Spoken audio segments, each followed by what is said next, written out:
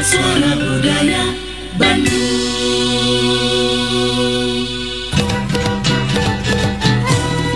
Sampurasun Pasundan. Sampurasun Pasundan dari Pro 4 RRI Bandung. Kondang hujan deras dan cuaca ekstrim yang menimpa Jawa Barat membuat sejumlah daerah diterjang banjir.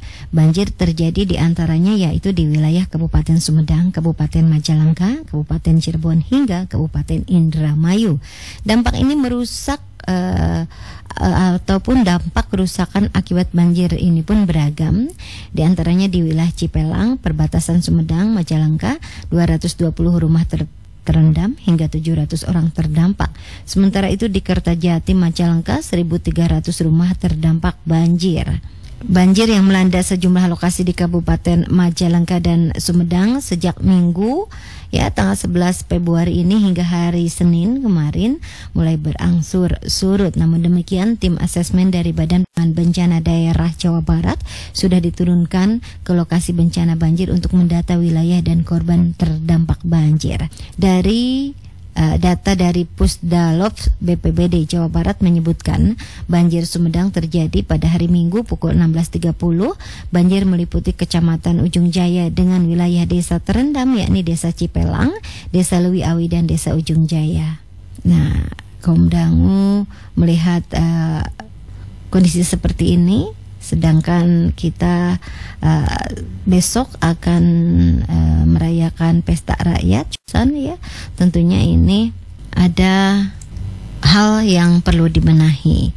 Mudah-mudahan tentunya uh, dengan kejadian banjir ini ya uh, segera cepat tertangani dan juga yang terpenting sing sarehat sedayana. Amin. Allah ya rabbal alamin. Suara Budaya Bandung.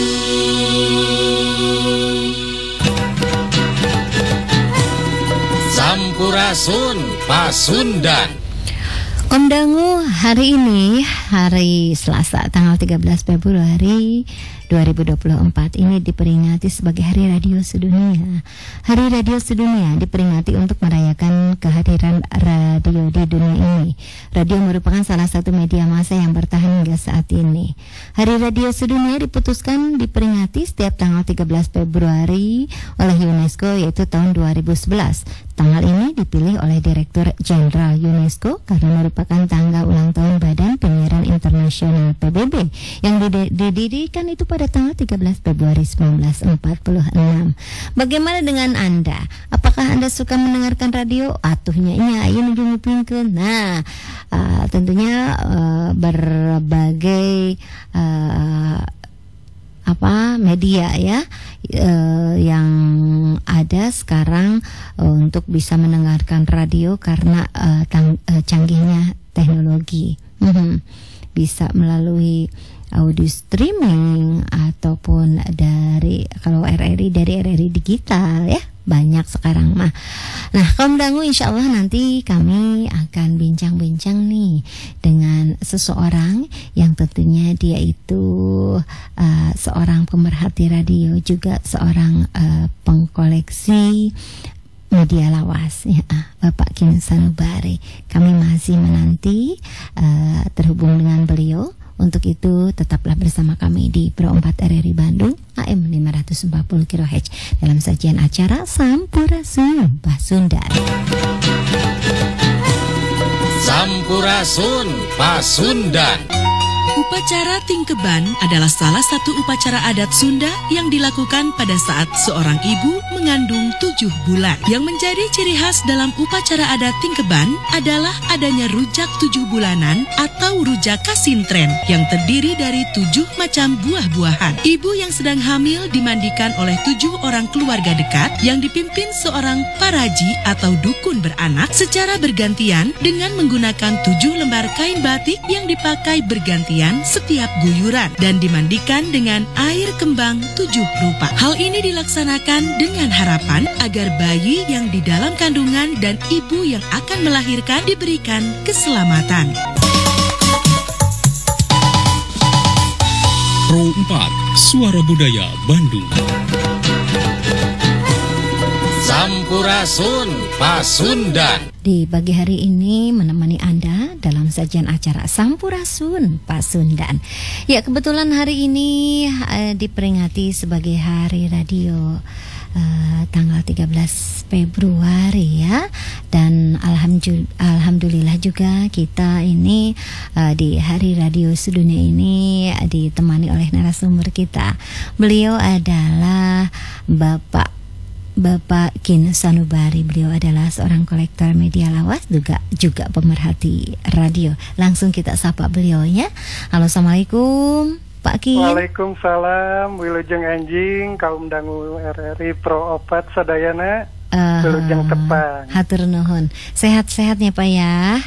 Alhamdulillah sangat uh, atur nuhun parantas diangken. Uh, ya Pak Kin, hari ini diperingati sebagai radio sedunia. Kita langsung aja nih, Bapak selaku uh, kolektor media lawas dan pemerhati radio, sebetulnya apa sih yang uh, Bapak uh, apa ya, yang melatar belakangi kenapa Bapak senang sebagai kolektor media lawas? Padahal kan katanya konon katanya sekarang emang radio sudah tidak ada peminatnya. Bagaimana nih Pak? Terima kasih atas waktu dan kesempatannya Tehano juga kaum dangu RRI Sadayana. Alhamdulillah pada hari ini bertepatan dengan Hari Radio Sedunia Mm-mm. yang sudah dicanangkan oleh UNESCO bahwa 17 Februari diperingati sebagai Hari Radio Sedunia. Dan pada tahun ini mengambil tema bahwa radio sudah satu abad eh, mengabdi, memberi informasi baik pendidikan ataupun hiburan deh. Mhm. Ya, karena sudah lawas ataupun sudah lang langgeng bisa disebut ya kalau satu abad itu bukan eh, usia yang muda lagi. Konon katanya benar enggak sih Pak radio itu sekarang kurang diminati? Eh, jadi sebetulnya enggak juga ya kalau untuk pemirsa orang-orang jadul gitu, radio tetap menjadi pilihan ataupun media yang paling diminati setiap harinya di samping media yang lainnya. Mungkin karena pergeseran teknologi, jadi eh, orang banyak pilihan untuk eh, sarana ataupun media yang dipakai setiap hari itu, Bu. Baik Ya. secara online ataupun perangkat digital lainnya. Mm-mm. Jadi pada umumnya radio tetap diminati dan banyak pendengarnya hingga saat ini. Iya. Pak Kin sebagai kolektor media lawas, eh, maksudnya eh, ini ini nih eh, punten udah lama menggeluti dunia ini, dunia ini menggeluti eh, sebagai kolektor ini atau sejak kapan nih?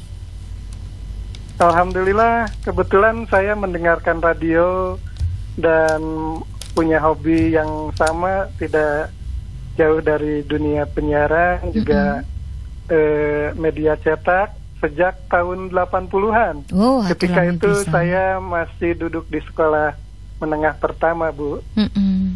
Jadi terus lami pisannya Mohon alhamdulillah ya. janten ya kawitnya pendengar radio RRI juga radio RRI Bandung dan siaran-siaran dari gelombang pendek radio siaran luar negeri Bu. Iya. Eh, menurut Pak Kin sendiri, meskipun eh, tidak bisa dipungki- dipungkiri ya dengan adanya kemajuan teknologi ini, mungkin eh, satu sisi radio diangkat, satu sisi lagi agak-agak tersisihkan. Eh, ini apa yang menjadi duriat eh, Pak Kin anu eh, ag- eh, menjadi tetap cinta, tetap senang dengan radio meskipun ada media-media lain yang eh, sekarang bermunculan. Terima kasih. Jadi radio bagi kami ang- angkatan jadul terutama orang yang lahir sebelum tahun 90 80 radio tetap melekat di hati sampai kapan pun. Meskipun secara langsung orang tidak lagi mendengarkan radio melalui pesawat transistor ya, ada yang melalui gadget, eh, laptop ataupun perangkat lainnya. Kalau dulu kan radio pasti identik dengan menenteng eh, fisik si radio tersebut ya Bu. Betul. Eh, ya dengan bermodalkan batu baterai ataupun sedikit setrum, radio tetap menjadi pilihan utama karena eh, alat hiburan yang paling murah betul bu. Ya, Eh, jadi mungkin karena karena kebiasaan dari dulu ya, bapak jadi susah sudah ada di hati tertanam di hati tetap senang meskipun ada media lain tetap radio masih didengarkan. Leres, Gitunya. leres. Janten radio tika pungkur moal ica kanggo pendengarnya Ah, tetap ah, didangukeun. Iya. Apa yang eh, Pak Kin rasakan di saat lagi mendengarkan radio eh, yang hanya pisu, eh, audio ya dan bedanya dengan audio visual ataupun televisi ada perbedaan yang Pak Kin rasakan? Ada jelas. Bagaimana nih? Eh, radio memberikan kita di samping imajinasi terus eh, membuat kita menjadi apa ya katakanlah eh, nostalgia kembali gitu. Kayak berbeda dengan menonton film ataupun layar televisi ya yang ada visualnya. Jadi radio ada ada keasikan tersendiri bagi kami bu. Seperti misalkan acara sandiwara radio ataupun dongeng Sunda kita dibawa ke suasana yang lain gitu. Jadi kita harus apa berimajinasi ataupun bukan berhayal ya, tapi kita bisa berimajinasi gitu me, apa me, eh, katakan me- apa katakannya bisa turut ke bawah arus cerita dalam dongeng ataupun sandiwara tersebut gitu bu. Mm-mm. Nah, kalau misalnya eh, suasana radio di siang hari dan malam hari apa yang eh, Pak Kin rasakan? Nah, untuk malam hari terutama dengan agak-agak ini ya, berbeda jauh. Apa bedanya? Kalau kalau acara-acara siang ataupun pagi hari umumnya radio-radio menyiarkan acara-acara yang membangkitkan semangat gitu, Mhm. memotivasi kita untuk kerja, sekolah ataupun ke bersifat semangat ya Bu, memotivasi gitu. Nah, untuk acara-acara malam seperti pilihan lagu-lagu lawas, nostalgia dan acara-acara lainnya bisa membawa kita eh, ke yang lebih santai gitu. Ada menjelang istirahat ataupun ya ber ini apa istirahat malam gitu bu Penghantar ya, penghantar tidur mungkin menghantar begitu. tidur ya betul. Iya. Dan juga mungkin eh, apakah eh, Pak Pak Kin ini kalau kalau orang bilang katanya ka- eh, identik radio itu kirim-kirim salam. Benar nggak nah itu? itu ya itu salah satu acara yang banyak diminati pendengar ya itu kirim-kirim salam yaitu acara musik by request ya pilihan pendengar ya Bu ya Mhm. kan tahun 80 90-an kita kalau minta lagu atau minta diputarin tembang-tembang kesukaan dan kirim-kirim salam itu melalui kartu Pilpen. Mhm. Jadi kartu pilihan pendengar yang disediakan oleh RRI, misalkan radio siaran swasta lain, kita mengisi formulir gitu dari mhm. Teh Ano di Bandung, kirim lagu buat Kang Rahmat di Subang. Jadi tidak bisa langsung. apa gitu. Ah. Kalau sekarang kan udah udah udah maju ya, tinggal MSS ataupun WA ataupun telepon langsung udah Mm-mm. bisa diputar lagu yang Hmm. Kita inginkan gitu. Jadi suka dukanya kalau kita pengen lagu yang disuka hari ini nggak bisa hari ini juga ya Kang ya, Nggak Eh, bisa ya ya harus menunggu waktu yang sudah ditentukan gitu. Oke, ini ini ini ini berarti suka dukanya kumaha tah? Kita kan minta nih eh, Pak Kin eh, mintanya lagu eh, ini misalnya ya lagu A di Iya. hari di hari kemarin, terus pas eh, diputarnya hari ini gitu kan? Iya Nah, betul. eh, terus akhirnya pada saat Jadi, kita mesti dengerin Iya, pada, ada Pada perlu umumnya sih suka ya, suka semua ya. Suka semua. Karena kita eh, lagunya ataupun aten, kartu atensi kita udah dibacakan gitu. Mm-mm. Meskipun nggak sesuai dengan waktu ataupun jam yang diminta, tetapi pada acara yang sama biasanya orang pendengar nongkrong dari awal hingga akhir, Bu. Hmm, Iya. gitu. Iya. Betul. Itu perasaannya bisa digambarkan bagaimana saat eh, surat eh, pilihan pendengar itu dibacakan oleh penyiar. Bagaimana itu perasaan Pak Kin pada saat itu? Sangat senang dan bahagia gitu. Ah. Orang orang yang disebut, Mm-mm. eh, yang dikirimi lagu ataupun salam, bila diudarakan penyiar itu udah hati berbunga-bunga gitu. Waduh. Iya, ada ada keasikan sendiri dengan acara yang disiarkan oleh radio. Hmm, Ya, tapi ada eh, boleh nggak minta masukannya? Kira-kira apa sih yang menjadi kekurangannya? Untuk khusus siaran RRI mungkin sudah di ini semua ya, udah apa keinginan pendengar itu udah bisa di Dipenuhi. kata orang Sunda mah dicumponan ya dengan adanya acara Prodangdut terus ada pilihan pendengar juga yang sering disiarkan jam 2 siang kalau nggak salah ya Bu ya.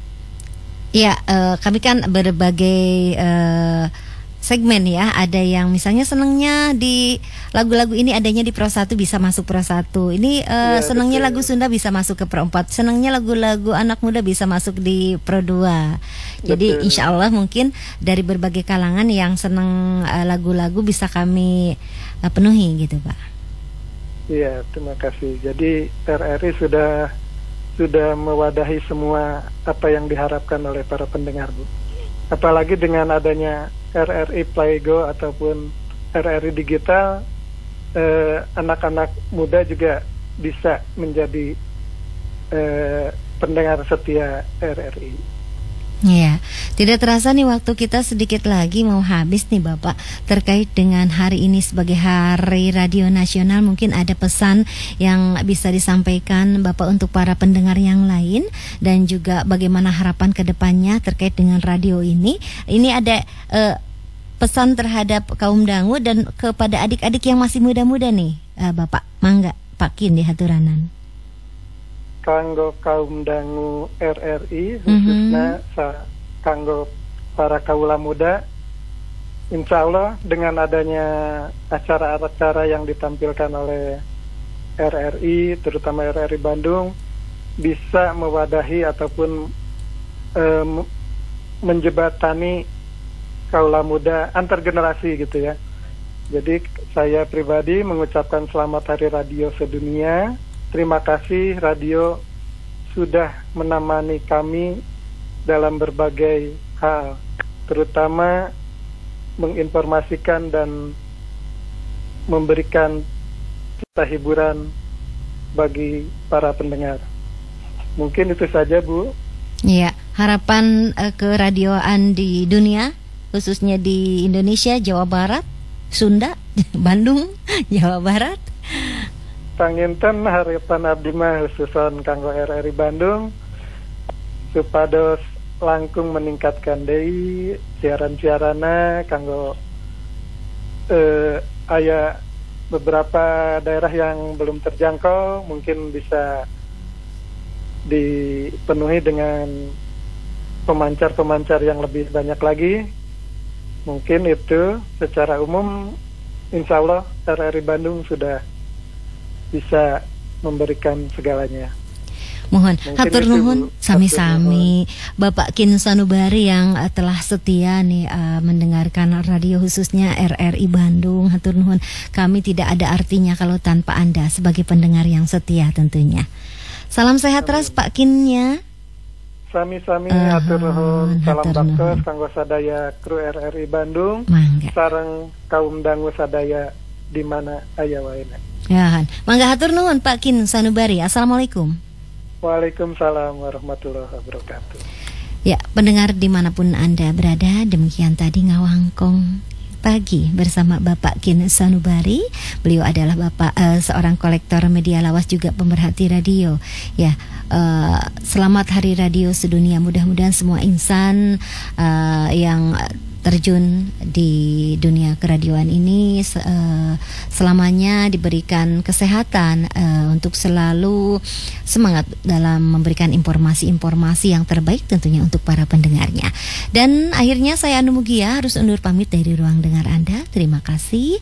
Eh, tetaplah bersama kami di Pro 4 Suara Budaya Bandung AM 540 kHz. Sampurasun Pasundan